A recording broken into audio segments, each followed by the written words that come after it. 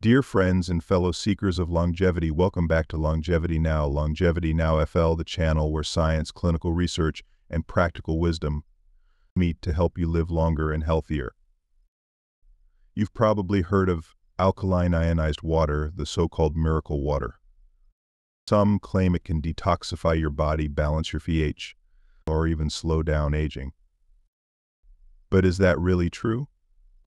Is it science or just clever marketing? Stay with me, because in the second half of this video we'll look at what the real research says and trust me, the truth will surprise you. First of all, what is alkaline ionized water? Alkalinized water, also called electrolyzed reduced water, is produced when an ionizer passes electricity through ordinary water. This creates two types of water.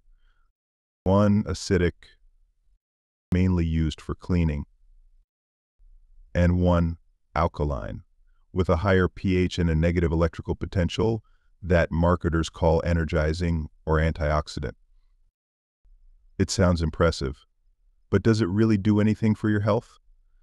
Supporters say drinking alkaline water can neutralize body acidity, improve hydration, fight oxidative stress, and even prevent chronic disease. Bold promises, but are they backed by science? Let's look at what peer-reviewed studies actually found. And it's not what most people think. What do you think really happens during electrolysis? What role does molecular hydrogen play? And most importantly, are there real benefits or hidden risks that no one talks about? Over the past decade, researchers, including Tyler LeBaron's team, have studied alkaline ionized water in depth, um, and the verdict is clear.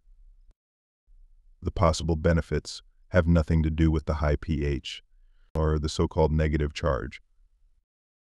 They come from dissolved molecular hydrogen gas, H2.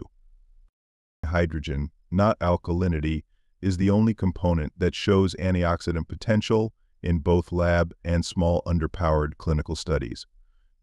When scientists removed hydrogen from the water, all the benefits disappeared. Every other popular explanation, microclustered water, electrically charged molecules, or pH balance, has been debunked by chemistry and physiology.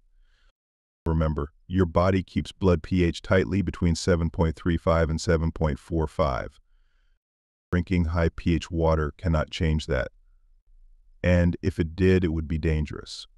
Very dangerous. But here's the catch. When the pH of ionized water exceeds 9.8 or 10, the risks increase. Animal studies show tissue and heart damage, probably due to metal nanoparticles like platinum leaching from the electrodes, Moreover, in people with kidney problems, it can lead to hyperkalemia or dangerously high potassium levels. And excess alkalinity may reduce mineral absorption and disrupt gut microbiome health. That's why Japanese and Korean health authorities warn against drinking water above pH 9.8. So, no, not all ionized water is safe. And in this case, more is definitely not better. Okay, now let's move to conclusions and practical advice. Water is essential, but it doesn't need to be ionized. If you're interested in hydrogen's potential benefits, choose neutral pH hydrogen-rich water, which is safer and more stable.